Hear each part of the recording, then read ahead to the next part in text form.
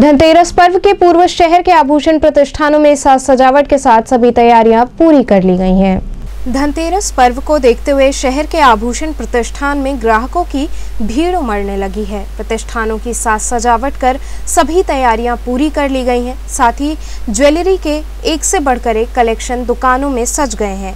इस बाबत हरे कृष्ण ज्वेलर्स के अधिष्ठाता संतोष अग्रवाल ने बताया कि कोरोना काल के बाद अब त्योहार पर ग्राहक निकले हैं, जिससे लोगों में उमंग है। उनके प्रतिष्ठान में विशेष रूप से लाइटवेट की ज्वेलरी और डायमंड के उत्तम कलेक्शन कई आकर्षक ऑफ़र के साथ उपलब्ध हैं।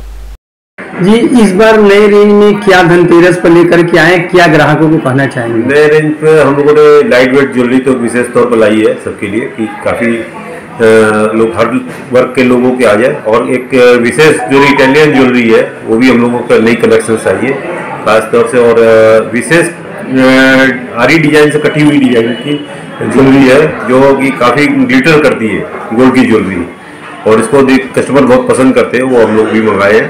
खासतौर से डायमंड का विशेष डिज़ाइन हमारे पास है। और हम एक बार ये कह सकते हैं कि बनास का बेस्ट कलेक्शन डायमंड का इस समय हमारे सभी सभी शोरूमों को उपलब्ध है।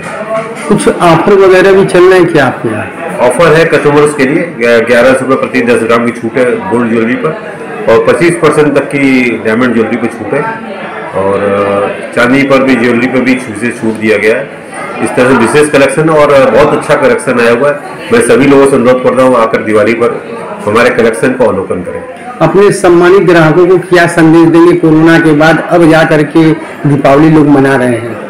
दिवाली बनाइए आप लोग बहुत खुशियों से बनाइए और सुरक्षित ढंग से बनाइए और बच्चों को थोड़ा पटाखों से दूर रहिए। अगर पटाखा छोड़ना है और जो आनंद लेना है तो उसका आप लोग अपने संरक्षण में बच्चों को पटाखा छोड़वाइए, जिससे एक बच्चे भी सेफ़ रहे और अपना परिवार भी सेफ़ रहे।